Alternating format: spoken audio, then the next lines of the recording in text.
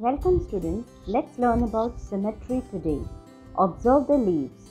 In the middle there is a vein that runs the full length of the leaf. Fold the leaf along that vein. What do you see? One part of the leaf falls exactly on the other. Now, fold the leaf in different ways along other veins. What do you see? One part of the leaf does not fall exactly on the other. Now take a triangular piece of paper. Fold it exactly half. You can see that one part of the triangle falls exactly on the other.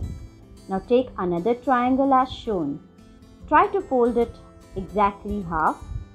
You can see that one part of the triangle does not fall exactly on the other. So what is a symmetry?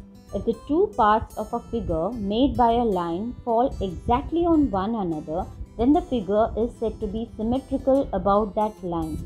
And if the two parts do not fall exactly on one another, then the figure is not symmetrical about that line. Let's observe some of the following figures which are symmetrical about the given dotted line and some are not. Now let's solve the given exercise.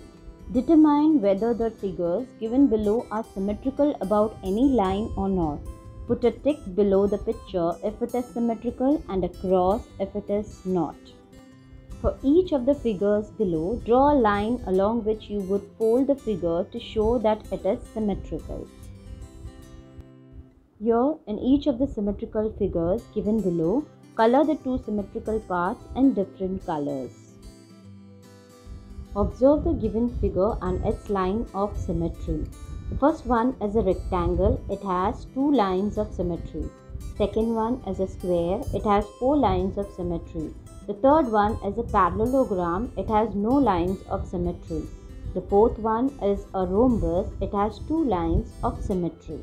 Now let's take a square piece of paper and examine its symmetry by folding it in different ways. You can even try folding papers of different shapes and examine its symmetry. Let's learn about closed figures and open figures. A geometrical figure that begins and ends at the same point is called a closed figure. These are some of the closed figures.